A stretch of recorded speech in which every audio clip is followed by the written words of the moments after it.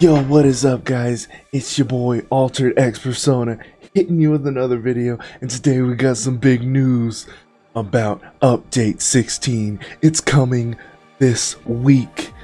Also, on another note, I got some merch. Get it. It's only five Robux. I have a bunch of variants. Get it now. Support your boy. Because we down bad for some Robux. Alright. Also, for all the videos I've done on Update 16 and all all these and people saying it's theories. I told you, but you didn't believe me. One, there's new fruit.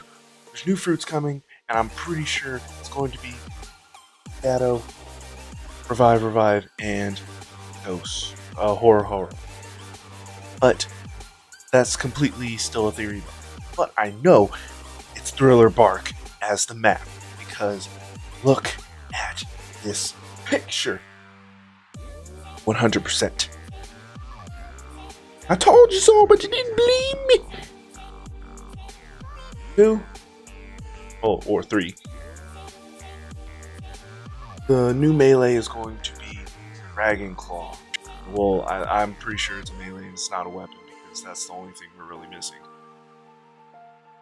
I told you so, but you didn't believe me. Oh, sorry, I'm just excited. I'm really excited. It's coming this week, so you guys better get your stuff ready. Your levels, your weapons, your melee, especially Dragon Claw, and fragments. You're most likely going to need fragments, my guys. And there's most likely new bosses, accessories. So we are going in 100%. Love you guys. Peace.